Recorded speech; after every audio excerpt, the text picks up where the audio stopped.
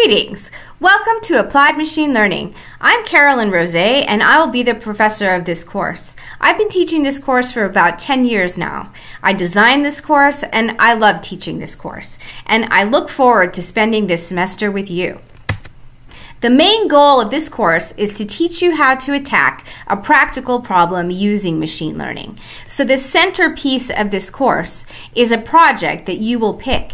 You will have the opportunity to pick either one of uh, a set of projects where we are providing you with a more concrete direction and the data itself, or you can go out and find your own data uh, it could be data that you get from some research project on campus. It might be data that you have from your job, or just data that you have personally, or that you have scraped from the web, or that you found in some data repository. You're allowed to pick the problem. You'll have to check it with me and the TAs to make sure that it's a that you're scoping out a project that's doable within a semester. We want to make sure that you have a valuable learning experience doing your project. But what you'll see as you move throughout the semester working on your project, which will be in line with the assignments, quizzes, exams in this course, is that you'll dig into issues like how do I need to transform that data in order to make the prediction task that I want to do with it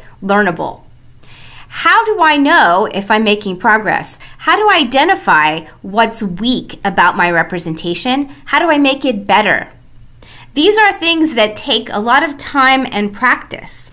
You are not required to be a programmer to take this course. However, the more you know about computer science and programming, the greater advantage you'll have. Nevertheless, students from all over campus take my class, and they all manage to do a project uh, satisfactorily. What I see is that the most important thing is that you come in with an attitude of, I'm ready for this adventure. I'm going to put in the 12 hours. It's a 12 unit class. It'll take those 12 hours a week to be successful. But if you put in a good faith effort, you can do it. And we will do our best to support you along the way.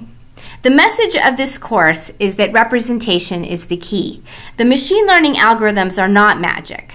You play a big role in making your problem learnable. Please keep your eye on Canvas. That's what we're using as our learning management system. We're not using Blackboard anymore. When you go to Canvas and you click to open up the uh, account for this course and you go to the home screen, you should see something like what you see here before you. At the very top, you should see the syllabus and you should see all the units of material that we cover in this course. And you should keep your eye here because we will be posting the slides from each lecture, answer keys for quizzes and homeworks, and it's also where you turn in all of the assignments, the project proposal, the project itself, and the exams. There will also be some supplementary readings that will be uh, posted throughout the semester. And so you'll definitely want to keep your eye here. Stay tuned because I'm going to be posting more videos along the way to this YouTube channel. And you will have the opportunity to propose topics for those videos. And if I pick your topic, you will get extra credit please be sure to buy the book. You can see here we're using edition four of this data mining book now. And we've been using this book since uh, its first edition many years ago. I've been teaching this class for a very long time. But this semester, you will need the most recent edition, which is edition four. Many students have been asking for content related to deep learning, and I have heard your cry. And in fact, there's a great whole chapter on deep learning in the textbook, a very good introduction to all of the very basic paradigms of deep learning. So it's a really good intro. We'll be talking about that at the end of the semester. You'll see how it builds on many of the basic concepts that we'll talk about throughout the semester.